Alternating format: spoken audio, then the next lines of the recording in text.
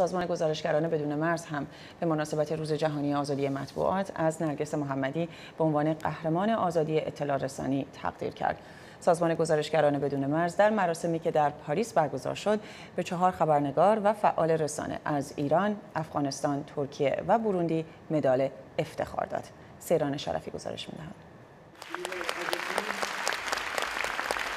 شهردار پاریس در غیاب نرگس محمدی که با وجود بیماری در زندان اوین زندانی است مدال او را به همسرش تقی رحمانی روزنامه‌نگار و فعال سیاسی تحویل داد. زندان اوین در ایران آقای رحمانی می‌گوید با وجودی که اثر این اقدام بر رفتار با همسرش معلوم نیست خانم محمدی در پیامش خواستار توجه بیشتر غرب به آزادی نهادهای مدنی شده است. گاهی این نوع فعالیت ها باعث میشه به زندانی بیشتر فشار بیاد به با توجه تضاد قدرتی که در حاکمیت ایران هست و قوه قضاییه و یه تقریبا بخشی شده از نیروهای فشار بر نیروهای تغییرخواه حتی با دولت روحانی هم درگیره. بدون نهادهای مدنی بدون جنبش های مدنی چه هر دولتی تمایل به استبداد داره.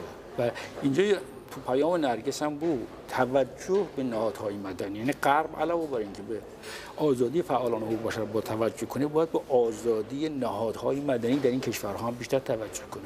چون اگه فرد آزاد باشه ولی نهادها آزاد نباشن اتفاق زیادی نمیفته رضا معینی مسئول بخش ایران و افغانستان سازمان گزارشگران بدون مرز نیز می‌گوید جمهوری اسلامی ایران از تمام ابزاری که در اختیار دارد برای ساکت کردن روزنامه نگاران و آزادی خواهان استفاده کرده است.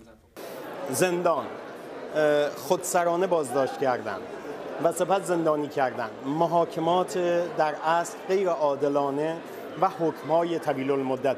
خب بیشتر از این چه فشاری؟ اما همین که در امشب در این مراسمی که نزدیک به 700 800 نفر آدم هستن شبکه های خبری هستن شهرداری پاریس و یک مجموعه صحبت در رابطه با وضعیت زندان ها میشه.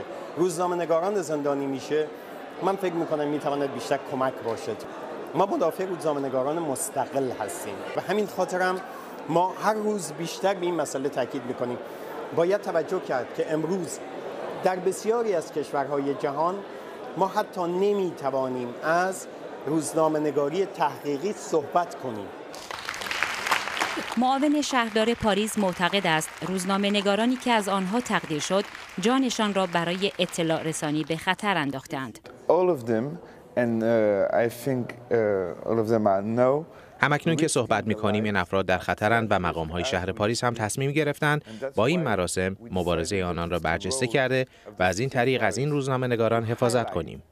امیدواریم با این اقدام هزینه آسیب رساندن و یا زندانی کردن آنها از سوی رژیم ها و یا کشورها و یا سرویس های امنیتی آنان بسیار افزایش یابد. سازمان گزارشگران بدون مرز می‌گوید در اروپا آزادی اطلاع رسانی رو به افول است و در دیگر کشورها نیز زندان، تهدید و کشتار روزنامه نگاران ادامه دارد. مقام های این نهاد معتقدند اعطای جایزه به تعدادی از روزنامه نگاران در بند می تواند تصویری کلی از وضعیت خبرنگاران در جهان و خطراتی که آنها را تهدید می کند ایجاد کند. سیران شرفی صدای آمریکا.